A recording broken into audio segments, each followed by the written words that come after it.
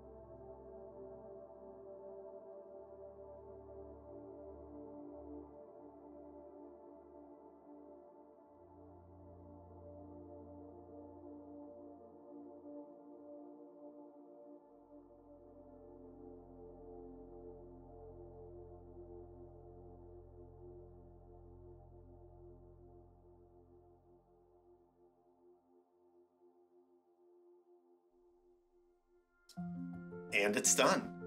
I'm not sure I captured all the cuteness from the sketch, but I'm really happy with how this first model turned out. It also ended up being really easy to print. This print required no supports at all, and only minimal infill.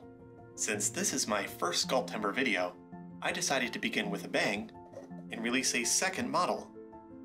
This mini mummy is a tangle of noodly bandages.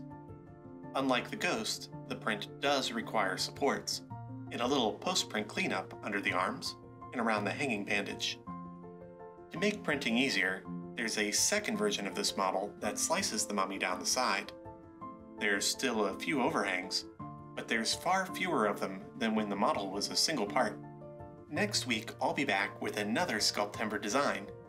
With Halloween fast approaching, I'd like to stick with this theme, so let me know what classic movie monsters you'd like for me to tackle next.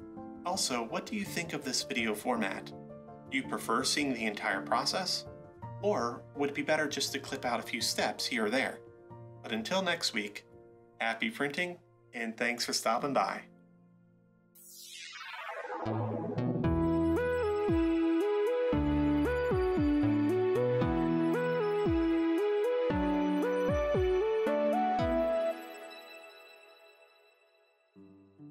Unfortunately, I didn't record the entire process of creating the mummy.